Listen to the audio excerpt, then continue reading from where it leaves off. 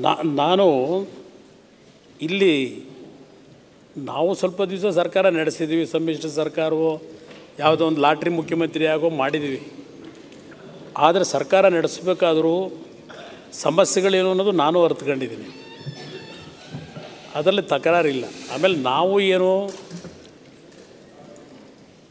Adjustment ರಾಜಕೀಯ ಅಂತ ನಾವೇನು ಈಗ ಅಡ್ಜಸ್ಟ್ಮೆಂಟ್ ಮಾಡ್ಕೋಬೇಕಾದ್ರೆ ಓಪನ್ ಆಗಿ ಮಾಡ್ಕೊಂಡಿದ್ದೀವಿ ಕದ್ದು ಮುಚ್ಚು ನಾವೇನು ಮಾಡ್ಕೊಂಡಿಲ್ಲ ಅಧ್ಯಕ್ಷರೇ. ನಾವೇನು ಇಲ್ಲ ನಾವು ಯಾವ ಮುಖ್ಯಮಂತ್ರಿಗಳ ಹತ್ರಕ್ಕೂ ಹೋಗಿ ಅಯ್ಯೋ ಇದೊಂದು ಕೆಲಸ ಮಾಡಿ ಅಂತ ಕೇಳೋದು ಇಲ್ಲ. ಇಲ್ಲಿ ಅಧ್ಯಕ್ಷರೇ ನನ್ನ ಇಲ್ಲಿ ಹೇಳ್ತಕ್ಕಂಥದ್ದು ನೀವು ತೀರ್ಮಾನ ತಗೊಂಡ್ರಿ ಇನ್ನೂರು ಯೂನಿಟನ್ನ ಉಚಿತವಾಗಿ ಕೊಡ್ತೀವಿ ಅಂತೇಳಿ ಚುನಾವಣೆ ಪೂರ್ವದಲ್ಲಿ ಹೇಳಿದ್ರಿ. ನಂತರ ಈ ಸ್ಕೀಮ್ನ ನೀವು ಅಳವಡಿಸ್ಲಿಕ್ಕೆ ಹೋದಾಗ ಕೂಡಿ ನಿಮಗೆ ಮಾಹಿತಿ ಸಿಕ್ಕಿದ್ದು ನಿಜ. ಈಗ ನಿಮಗೆ ಆ್ಯಾವ್ರೇಜ್ ಎರಡು ಕೋಟಿ ಹದಿನಾಲ್ಕು ಲಕ್ಷ ಜನ ಕನ್ಸ್ಯೂಮರ್ಸ್ ಏನಿದ್ದಾರೆ ಅದು ಐವತ್ನಾಲ್ಕು ಅರುವತ್ತು ಪರ್ಸೆಂಟು ಅವ್ರು ಯೂಸ್ ಮಾಡ್ತಿರೋದು ಯೂನಿಟ್ನ ಐವತ್ನಾಲ್ಕು ಪರ್ಸೆಂಟೇನೋ ಇದೆ ಅಂತ ನನಗೆ ಬಂದು ಮಾಹಿತಿ. ಒಂದು ಯೂನಿಟ್ ಐವತ್ನಾಲ್ಕು ಯೂನಿಟ್ಟು ಯೂಸ್ ಮಾಡಿ ಐವತ್ತ್ಮೂರು ನನಗೆ ಐವತ್ನಾಲ್ಕು ಯೂನಿಟ್ಟು ಅಂತ ನನಗೆ ಕೆಲವರು ಮಾಹಿತಿ ಕೊಟ್ಟಿದ್ದು ಹೇಳಿದರು. ಅದು ಐವತ್ನಾಲ್ಕು ಐವತ್ತ್ಮೂರು ಎಷ್ಟೋ ಇರಲಿ ಅಧ್ಯಕ್ಷ ಇಲ್ಲಿ ನೀವು ಅದರ ಆಧಾರದ ಮೇಲೆ ಹತ್ತು ಪರ್ಸೆಂಟು ಅಂತ ಕೊಟ್ಟಿದ್ದೀರಿ. ನೀವು ಸರ್ಕಾರ ನಡೆಸಬೇಕು ಸರ್ಕಾರದ ದುಡ್ಡನ್ನು ಹೊಂದಿಸ್ಬೇಕು ನನಗೂ ಅರ್ಥ ಆಗುತ್ತೆ. ಆದರೆ ಅಲ್ಲಿ ಇನ್ನೂರು ಯೂನಿಟ್ ಅಂತ ಅವತ್ತು ನೀವು ಹೇಳಿದ್ದಿದೆಯಲ್ಲ ಅಲ್ಲಿ ಜನಕ್ಕೆ, ಏಕೆಂದರೆ ಜನಗಳಲ್ಲಿ ಭಾವನೆ ಇತ್ತೀಚೆಗೆ ನಾವು ನೋಡ್ತಾ ಇದ್ದೀವಿ. ಏನಾದರೂ ಫ್ರೀ ಸಿಗುತ್ತೆ ಅಂದರೆ ಕಾಂಪಿಟೇಷನ್ ಮೇಲೆ ಹೋಗ್ತೀವಿ. ಜನಗಳಕ್ಕೆ ನಾವು ಜನ ಎಪ್ಪತ್ತೈದು ವರ್ಷ ಸ್ವಾತಂತ್ರ್ಯ ಬಂದ ನಂತರವೂ ಆ ಒಂದು ವರ್ಗ ಜನಗಳನ್ನು ಆ ರೀತಿಯೇ ಇಟ್ಕೊಂಡ್ಬಿಟ್ಟು ಬಂದ್ಬಿಟ್ಟಿದ್ದೀವಿ ಜನಗಳನ್ನ. ಏನಾದರೂ ಫ್ರೀ ಸಿಗುತ್ತೆ ಅಂದಾಗ ಆಸೆ ಅವರಿಗೆ. ನೋಡೋದಪ್ಪ ಇವತ್ತು ಐವತ್ತು, ಅರವತ್ತು ಯೂನಿಟ್ಟು ಯೂಸ್ ಮಾಡ್ತಾಯಿದ್ದು ಏನೋ ಸರ್ಕಾರ ಇನ್ನೂರು ಯೂನಿಟ್ ಕೊಡ್ತೀವಿ ಅಂತ ಹೇಳವ್ರೆ. ನಾವು ನಮ್ಮನೆಗೆ ಒಂದು ಏನಾರು ಒಂದು ಎ ಸಿ ಹಾಕ್ಸ್ಕೊಳ್ಳೋಣ, ಇದು ಶುರು ಆಗ್ಬಿಡುತ್ತೆ. ಜನಗಳಲ್ಲಿ ಒಂದು ಆಸೆ ಬರುತ್ತೆ. ಈಗ ಇವತ್ತಿದ್ದು ನೀವು ಹತ್ತು ಪರ್ಸೆಂಟ್ ಕೊಟ್ಟಿದ್ದೀರಿ. ಯಾವ ಇನ್ನೂರು ಅಂತ ಘೋಷಣೆ ಮಾಡೋದ್ರಲ್ಲ, ಒಂದು ಅಡಿಷನಲ್ ಆಗಿ ಆಲ್ ಎಲೆಕ್ಟ್ರಿಕಲ್ಲೋ ಮಗದೊಂದು ಏನೇನೋ ಮಾಡ್ಕೋಬೇಕು ಅಂತೇಳಿ ಆಸೆ ಪಡ್ತದೆ. ಯಾಕೆಂದರೆ ಇವತ್ತು ನಾವು ನೋಡ್ತಾ ಇದ್ದೀವಿ, ಯಾರಾದರೂ ಈಗ ಸಾಮಾಜಿಕ ಕಾರ್ಯಕರ್ತರು ಅಂತೇಳಿ, ಸಮಾಜ ಸೇವೆ ಮಾಡೋಣ ಅಂತೇಳಿ, ಒಂದು ಸೀರೆ ಕೊಡ್ತೀವಿ ಅಂತ ಅನೌನ್ಸ್ ಮಾಡಿದ್ರೆ ನೂಕ್ ನುಗ್ಲಲ್ಲಿ ನಿಂತ್ಕೊತಾರೆ ಪಾಪ ಹೆಣ್ಮಕ್ಳು. ಹೊಡೆದಾಟಗಳಾಗ್ತವೆ. ಮೈ ಮೈ ಬೆದ್ದು ಬಿದ್ದು ಓಡಾಡ್ತಾರೆ. ಅಂಥ ಒಂದು ವಾತಾವರಣ ಏನಿದೆ, ನೀವು ಘೋಷಣೆ ಮಾಡಿಬಿಟ್ರಿ ಎಲ್ಲರಿಗೂ ಒಂದು ಆಸೆ ಬಂತು ಅನ್ನೋದು ನಾನು ಹೇಳ್ತಾ ಇರೋದು ಅಷ್ಟೇ. ಈಗ ನೀವು ರಿಸ್ಟ್ರಿಕ್ಟ್ ಮಾಡಿದ್ದೀರಿ, ಅದು ಇವತ್ತು ಯೂಸ್ ಮಾಡ್ತಿರೋದಕ್ಕೆ ಕೊಡ್ತಾ ಇದ್ದೀವಿ. ಸುಮ್ಮ ಸುಮ್ಮನೆ ಯಾಕೆ ಕೊಡಬೇಕು ಅಂತಕ್ಕಂಥದ್ದು ನಿಮ್ಮ ತೀರ್ಮಾನ, ಅದು ನಾನು ತಕರಾರಿಲ್ಲ ನಿಮ್ಮ ತೀರ್ಮಾನಕ್ಕೆ. ಆದರೆ ನೀವು ಚುನಾವಣೆ ಪೂರ್ವದಲ್ಲಿ ಹೇಳಿದಂಥದ್ದು ಇದೆಯಲ್ಲ, ಜನಕ್ಕೆ ಒಂದು ಆಸೆ ಹುಟ್ಟಿತ್ತು ಒಂದು ವರ್ಗದಲ್ಲಿ ಇರ್ತದೆ.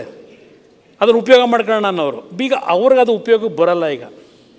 ನೀವು ಹತ್ತು ಪರ್ಸೆಂಟ್ ಇಟ್ಟಿದ್ದೀರಿ. ಹತ್ತು ಪರ್ಸೆಂಟ್ ಇಟ್ಟಿದ್ದೀರಿ. ಒಂದು ಹೇಳಿ ಹೇಳಿ ಹೇಳಿ ಈಗ ನೀವು ನಮ್ಮ ವಿಚಾರದಲ್ಲಿ ಇನ್ನೂರು ಯೂನಿಟ್ವರೆಗೆ ಅಂತ ಹೇಳಿ ಮಾಡ್ತಾ ಇದ್ದೀವಿ. ಈಗ ಬೇರೆ ಪಕ್ಷದವರು ಆಡಳಿತದಲ್ಲಿ ಇದ್ದಾರಲ್ಲ ಅವರು ಚುನಾವಣಾ ಪೂರ್ವದಲ್ಲಿ ಯಾವ್ಯಾವ ಭರವಸೆಗಳು ಕೊಟ್ಟಿದ್ದಾರೆ? ಎಷ್ಟು ಹೇಳಿ ಈಡೇರಿಸಿದಾರೆ ಅದು ಸ್ವಲ್ಪ ಇಲ್ಲಿ ತನಕ ತಾವು ಮಾತಾಡಿದ್ದೀರಾ? ಅದ ಇದನ್ನು ಮಾಡಿದೆ ನೋಡಿ ನಿಮ್ಮ ನಿಮ್ಮ ಎಲ್ಲ ನಿಮ್ಮ ನೀವು ಇಲ್ಲಿ ಕೂತಾಗ ಹೇಳ್ತಾರೆ ನಾವು. ಬರ್ತೀರಿ, ಅವಾಗ ಕೇಳಿ. ಅಲ್ಲ ನೆಕ್ಸ್ಟ್ ನೀವು ಅಲ್ಲಿ ಕೂತಾಗ ಅವಾಗ ಕೇಳಿ. ಅಲ್ಲಿ ಕೂತು ಯಾಕೆ ಯಾರು ಯಾಕೆ ಭರವಸೆ ಅಂತ ಎಷ್ಟು ಅವಾಗ ಕೇಳಿ. ಈಗ ನಾವು ರೂಲಿಂಗ್ ruling ಗ್ಯಾರಂಟಿ ಕೊಟ್ಟಿದ್ದೀವಿ ರೂಲಿಂಗ್ ಪಾರ್ಟಿ ಎರಡು ಸಾವಿರ guarantee ನಾವು ಅಧಿಕಾರ ಇದೆ, ನಾವು ಅದಕ್ಕೆ ತೀರ್ಮಾನ ಕೇಳ್ತೀವಿ. ಮಾಡಿದ್ವಿ ಅದನ್ನ ಜಾರಿಗೊಳಿಸ್ತಾ ಇದ್ದೀವಿ ಅಧ್ಯಕ್ಷರೇ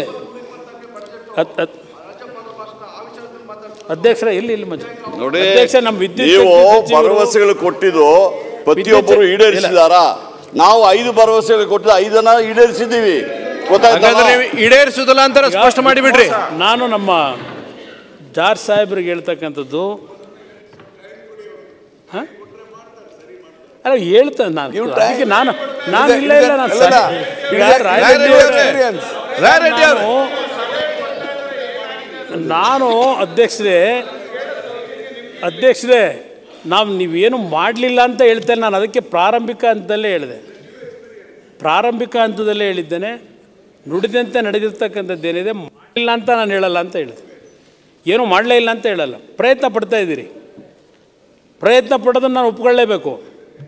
ಚುನಾವಣೆಯಲ್ಲಿ ಮಾತು ಕೊಟ್ಟಿದ್ದೀರಿ, ಅದನ್ನು ಯಾವ ರೀತಿನಾದರೂ ನಾವು ಇಂಪ್ಲಿಮೆಂಟ್ ತರಬೇಕು ಅಂತ ಮಾಡಬೇಕು ಅಂತ ಹೇಳಿ, ಈಗಿರ್ತಕ್ಕಂಥ ವ್ಯವಸ್ಥೆ ಒಳಗೆ ಪ್ರಯತ್ನ ಪಟ್ಟಿರೋದಂತೂ ನಿಜ.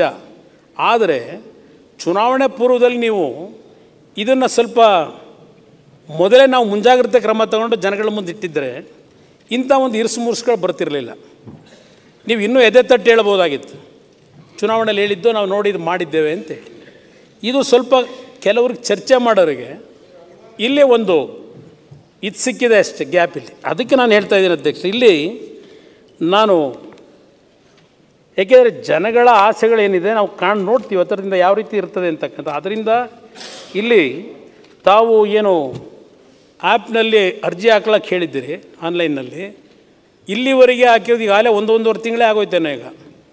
ಇಲ್ಲಿವರೆಗೆ ಅರ್ಜಿ ಹಾಕಿರ್ತಕ್ಕಂಥದ್ದು ಎರಡು ಕೋಟಿ ಹದಿನಾಲ್ಕು ಲಕ್ಷದಲ್ಲಿ ಒಂದು ಕೋಟಿ ಮೂರು ಲಕ್ಷ ಜನ ಏನು ಅರ್ಜಿ ಹಾಕೊಂಡವ್ರೆ. ಇನ್ನು ಉಳಿದವ್ರು ಇನ್ನೂ ಅರ್ಜಿ ಹಾಕಿಲ್ಲ. ಅವ್ರಿಗೆ ಏನು ಮಾಡಬೇಕು ಅಂತ ತೀರ್ಮಾನ ನೆಕ್ಸ್ಟ್ ಮಾಡ್ತೀರಿ? ಈಗ ಬಿಲ್ ಕಟ್ಟಬೇಕು ಈಗ ಅವರು, ನನ್ನ ಅಭಿಪ್ರಾಯದಲ್ಲಿ. ಅರ್ಜಿ ಹಾಕೊಳ್ಳೋದೇ ಇದ್ದರೆ ಹೇಳಿ ಸರ್, ಹೇಳಿ. ಈಗ ನಾವು ಇದಕ್ಕೆ ಕಟ್ ಆಫ್ ಡೇಟ್ ಕೊಡಲಿಲ್ಲ. ಇದಕ್ಕೆ ಹೇಳ್ಬಿಟ್ರೆ ಈ ತಿಂಗಳು ಇಪ್ಪತ್ತ ಐದು ಇಪ್ಪತ್ತಾರು ತನಕ ಅವರು ಅರ್ಜಿ ಹಾಕ್ಬೋದು. ಈ ತಿಂಗಳದ್ದು ಬಿಲ್ಲು ಬರೋದು ಬರೋ ತಿಂಗಳು ಫಸ್ಟ್ ವೀಕ್ ಬರ್ತದೆ. ಇದರಲ್ಲಿ ಒಂದೇನಾಗಿದೆ ಆ, ಇದು ನಮ್ಮ ಕುಟೀರ ಭಾಗ್ಯ ಮತ್ತು ಅನ್ನಭಾಗ್ಯ ಮತ್ತು ಇದು ಅಯೋ ಇದು ಐ ಪಿ ಎಲ್ ಅಮೃತ್ ಯೋಜನೆ ಮೂರು ಸಮೇತ ಜನಕ್ಕೆ ಸ್ವಲ್ಪ ಕನ್ಫ್ಯೂಷನ್ ಇದೆ. ಈಗಾಗಲೇ ಮುಖ್ಯಮಂತ್ರಿಯವರಿಗೆ ಕಳಿಸ್ಕೊಟ್ಟಿದ್ದೀನಿ.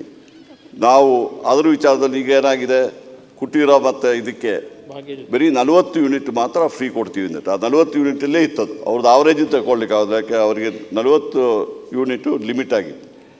ಅಯೋಧ್ಯ ಇದಕ್ಕೆ ಅಮೃತ ಯೋಜನೆಗೆ ಎಪ್ಪತ್ತೈದು ಯೂನಿಟ್. ಇದೆರಡು ಮಾಡಿದರೆ ಸುಮಾರು ನಲವತ್ತು ಲಕ್ಷ ಜನ ಆ, ಇನ್ನೂ ನಮಗೆ ಅರ್ಜಿ ಹಾಕ್ಬೋದು. ಅದು ಇವತ್ತು ನಾಳೆ ಆ ನಿರ್ಧಾರ ಮಾಡ್ತೀವಿ. ಅವ್ರಿಗೆ ಇಪ್ಪತ್ತ ಆರು ಇಪ್ಪತ್ತೇಳನೇ ತಾರೀಕು ತನಕ ಟೈಮ್ ಕೊಡ್ತೀವಿ. ಅವರು ಸಮೇತ ಅರ್ಜಿ ಹಾಕಿದರೆ ಬಹುಶಃ ಕೆಲವರು ಅರ್ಜಿ ಹಾಕೋದೇ ಇಲ್ಲ. ಕೆಲವರು ನಮಗೆ ಬೇಡ ಅಂತ ಹೇಳ್ಬಿಟ್ಟು ಮನಸ್ಸು ಮಾಡಿದರೆ ಅವ್ರು ನಾವು ಒತ್ತಾಯ ಮಾಡಿಬಿಟ್ಟು ಕಲ ಮಾಡಲಿಕ್ಕಾಗೋದಿಲ್ಲ. ಆದರೂ ಲಾಸ್ಟಿಗೆ ಈಗ ಈ ಈ ತಿಂಗಳು ಎರಡು ತಿಂಗಳು ಆದಮೇಲೆ ನಾವು ಈ ವಿಚಾರದಲ್ಲಿ ಒಂದು ಎಲ್ಲ ಕಡೆಯೂ ಕಾರ್ಯಕ್ರಮ ಹಾಕ್ಕೊಳ್ತೀವಿ. ಇನ್ನು ಯಾರಿಗಾದ್ರು ಬಿಟ್ಟು ಹೋಗಿದರೆ ನಮ್ಮ ಕೆ ಇ ಬಿ ಆಫೀಸಲ್ಲೇ ಒಂದು ಅಂದ ಅದಾಲತ್ತು ಮಾಡಿಬಿಟ್ಟು ಅದು ಮಾಡುವಂಥ ಕೆಲಸ ಸಮೇತ ಮಾಡ್ತೀವಿ. ಅದಕ್ಕೆ ನಾವು ಕಟ್ ಆಫ್ ಡೇಟ್ ಕೊಡಲಿಲ್ಲ. ಆದಷ್ಟು ಎಲ್ಲರಿಗೂ ಅರ್ಹರಿಗೆ ಎಲ್ಲರಿಗೂ ಕೊಡುವಂಥ ಕೆಲಸ ಮಾಡ್ತೀವಿ.